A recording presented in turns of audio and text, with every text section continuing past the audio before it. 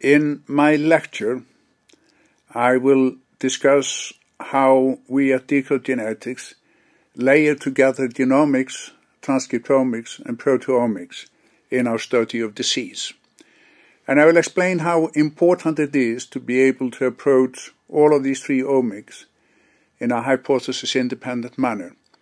And I will give you an example of where we found a sequence variant conferring large risk of a disease that was intronic to a gene that generated a cryptic splice site that led to the generation of a truncated protein.